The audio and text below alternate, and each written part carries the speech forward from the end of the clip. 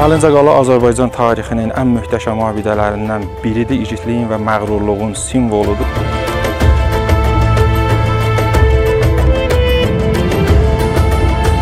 1-ci 6-cı əsrlərə aid mədəniyyət abidəsi kimi Əlincə qalanın Azərbaycan tarixində özünə məxsus xüsusi bir əhəmiyyəti var. Dədə Qorqud dastanında Əlincə qalanın adı çəkilir, qeyd olunur ki, Uşun qoca oğlu Əcrək Şərurdan Göyçə gölünə qədər at sapır, yolu Əlincə qaladan düşür və Qara Təkür tərəfindən ələ keçirilir və burada zindanda saxlanılır.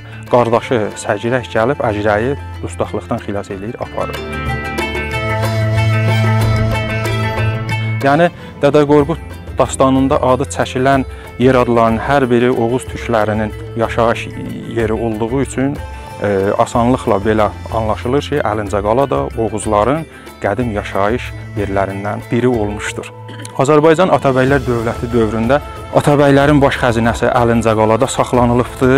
Əlincəqala Naxçıvanın hakimi Zahidə xatunun iqamətgahı olubdur. Əmir Teymurun hücumlarında 1386-cı ildən 1401-ci ilə kimi Əlincəqala mərdliklə müdafiə olunur. Əmir Teymur ordularına döyüşlə təslim olmur. Bunun üçün də Əlincəqala Azərbaycan tarixində əyilməzlik rəmzi kimi qəbul olunur.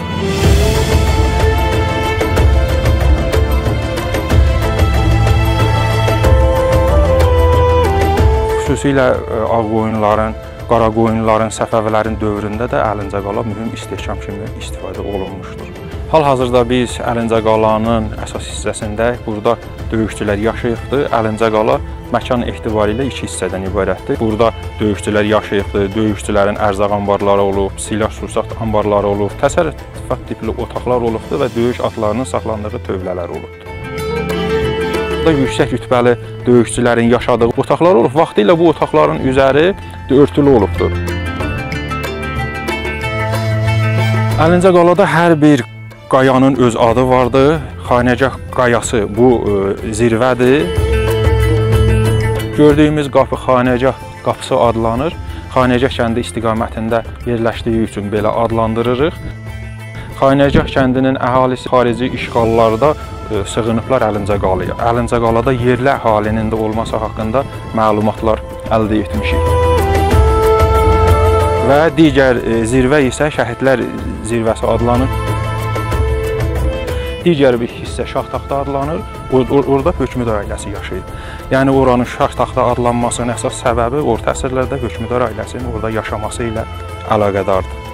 Əlincəqalada 20-dən artıq su hovuzu var.